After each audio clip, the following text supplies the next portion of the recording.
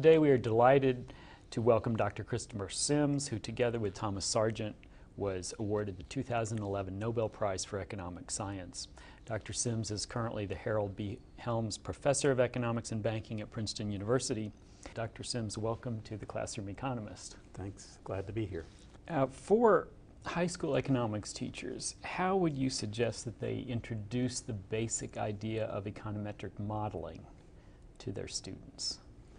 The essence of econometric modeling is that it's statistics applied to economics. What e econometric models do and what they're used for could be taught at the high school level. The idea that there's lots of data available and new data coming in every month and people who make economic policy need to find some way to make sense of that data and use it to guide their decisions. That means it's that you have to keep track of it. You need a spreadsheet or something at least. And you need some way to say, well, now that the exchange rate has gone up 10%, what does that mean for what we think is going to happen to inflation? That's what econometric models are for, to, to help policymakers react to the flow of data. Uh, I think it's also important, it's not impossible to teach statistics to high school students, and I think high school students should be getting more of an introduction to statistics and probability than is standard, and that should be a good, should be coordinated. If economics is being taught and statistics is being taught in the high school, you could be linking them.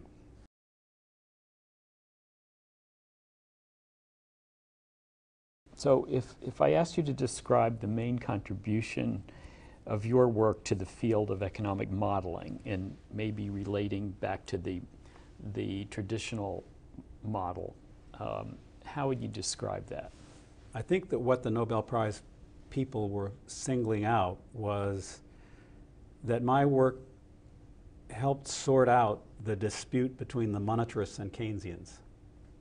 Um, the, in part by introducing new approaches to st statistical modeling.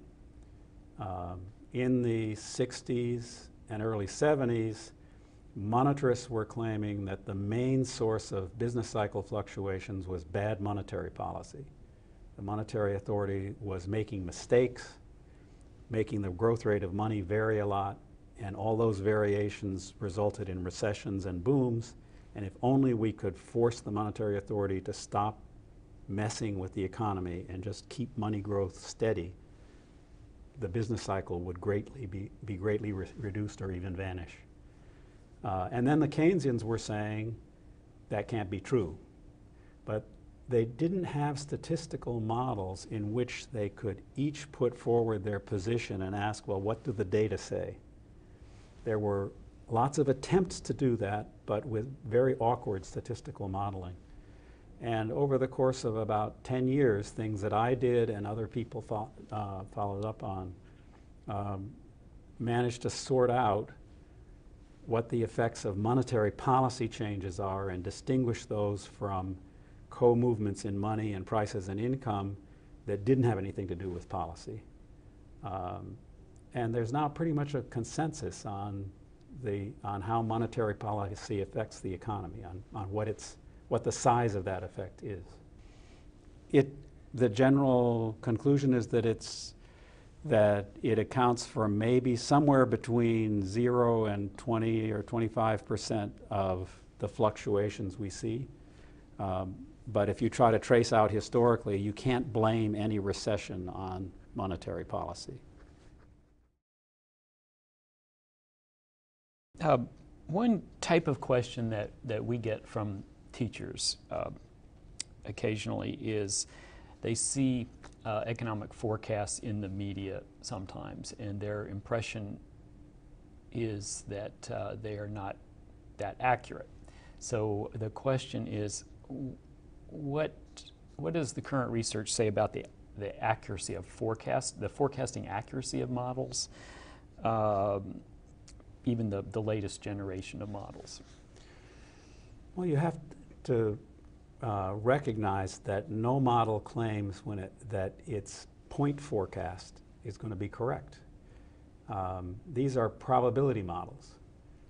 Um, they, if you see a forecast that says growth will be 2.3% next year, the model is not saying, and if it's 2.2%, I'll die. it's saying the most likely value is 2.3%. And if you really want to know what the model says, you should ask more.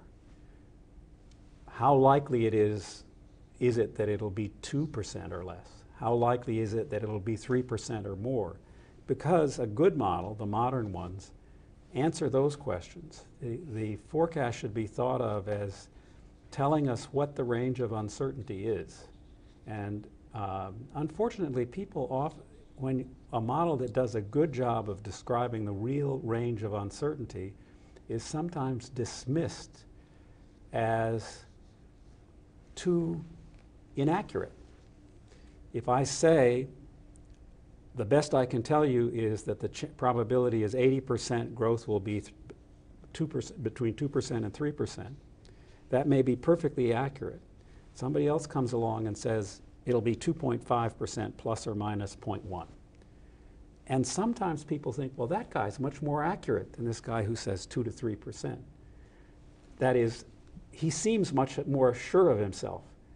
But if you look historically, it may be that he's over and over again wrong. People who seem really sure of themselves are often people who over and over again make big mistakes. Some observers have suggested that the pace of financial innovation over the last 10 or 15 years or so exceeded the, the pace of development of risk management models. Uh, and that might have contributed some to the, the to the crisis of 2008.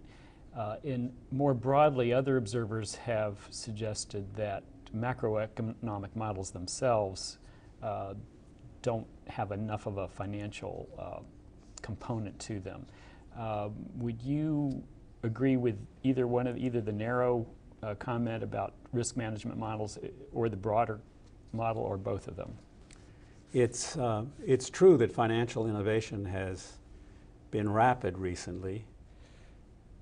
There's a constant tension between regulation and financial innovation. Anytime what regulation does is try to control some kinds of financial contracts that create systemic problems.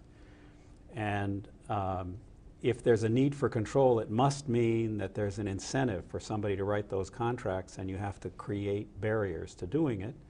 Well, the same incentives that led to that contract in the beginning are going to lead to people to try to think of ways around any regulation you propose. And that's never going to change. Um, it's, uh, and it's a hard problem to see how you avoid new systemic dangers coming up through um, through too slow a speed of, uh, of response by the regulators. Econometric models, it's true, have not had much of a financial sector uh, in the past, and they should have had more. There was, if you look back historically, you could have seen, we are now seeing when we look at past data, that if we'd had bigger, we'd, if we'd had financial variables, some financial variables in the models, we would have done a better job of tracking what was going on in 2007, 2008. Um, and going forward, uh, every policy institution has people working on new models with bigger financial sectors. Um, I'm a little afraid that well, we're following the usual tendency to to fight the last war. Um, we've had a big financial crisis. Going forward, it may not be financial crisis so much as public finances, debt and deficits that are the important thing, that, and those have been neglected in these models too. The current uh, uh, situation in Europe. Um, you have done some work in that area um, and um, spoken and written about um, possible lessons that the, the, current crisis might have for the U.S. Um, could you uh, just outline what you think some of those lessons might be at this point, given that the situation is still unfolding? Um, the, the sources of the European crisis is that they made some changes in their institutions that uh, took them away from the US model. In the US, we have our own currency, an exchange rate between that currency and the rest of the world, and a strong fiscal central authority, this federal government that taxes and spends and issues debt. Um, we have state governments also, but they do not have their own currencies and they, uh, they have balanced budget requirements in their constitutions for the most part.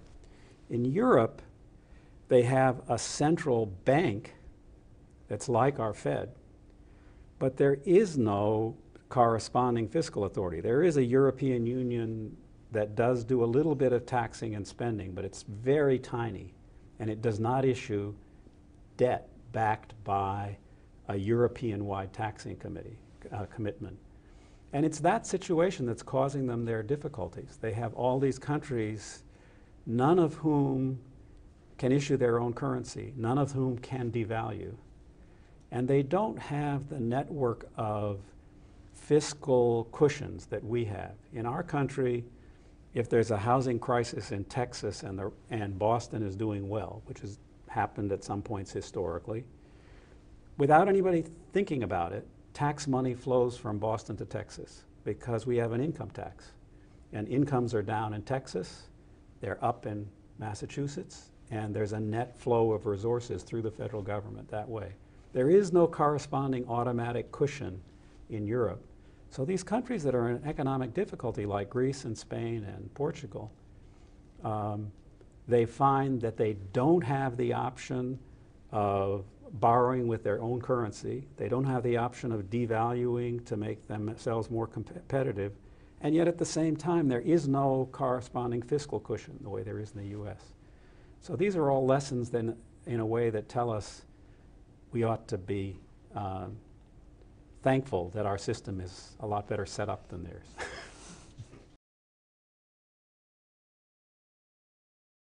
For a high school teacher who has students that they they think might be interested in going on further into economics, how would you suggest that they prepare themselves? Taking uh, math courses steadily is very important.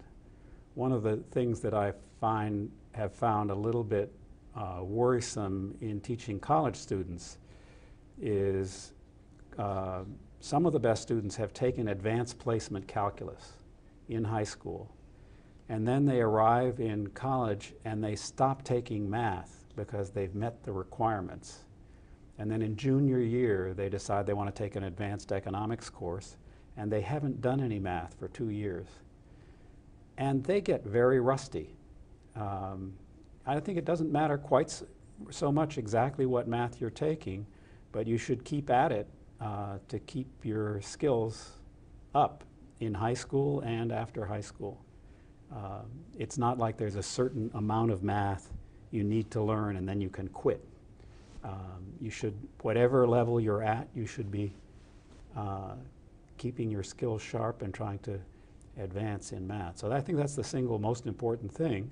Of course, if all you do is take math courses, that can be a, uh, create a gap too. Economics is about the application of math to the real world, and uh, you do have to uh, take courses and be interested in other things as well, history and, and economics itself if it's taught in your school, and, uh, and be interested in politics and how decisions are made in, in, the, in your country. I see that your undergraduate major was in mathematics. Uh, can you talk about when you were first exposed to economics in school uh, what attracted you to the field and what made you eventually decide to go in that direction for your graduate work? I actually didn't have any exposure in school to economics at the time. I was going through high school. There were very few high schools that taught any economics. I had an uncle, though, who was an economist who uh, campaigned to get me to become an economist from the time I was about 10 years old. I knew what an economist does uh, from my uncle. Also, my grandfather was a labor economist. He was uh, a member of the first uh, of the National Labor Relations Board under um, under President Roosevelt. So there was talk about economic policy issues in family gatherings. My grandfather used to greet me from the time I was about eight years old with, Well, Chris, what do you think of the present situation of the country? So I, I knew about public policy issues and, um, and was familiar with discussing them uh, from my family background. And so I, I had a pretty good idea of what economists, uh, what kinds of issues economists deal with and why what they do might be interesting and important from Mhm. a very early age. Mhm. Um, I thought he was having the opposite effect of what he intended. Uh, but when I got to my senior year and I was considering going on in math, and I decided that um, I probably didn't want to spend my life with pure abstraction. And I knew what economics was all about because of my uncle. So uh, I also had a, an excellent math teacher in in high school who went on to become uh, the president of, a, of the Math uh, Teachers Association. I can't remember the name of the association. Um, Stephen Willoughby, and um, he actually told my mother that I should become an economist, but he never told me. Uh, we've been talking with Dr. Christopher Sims, Nobel Prize winner in economics. Thank you so much for joining us. well, thanks for having me.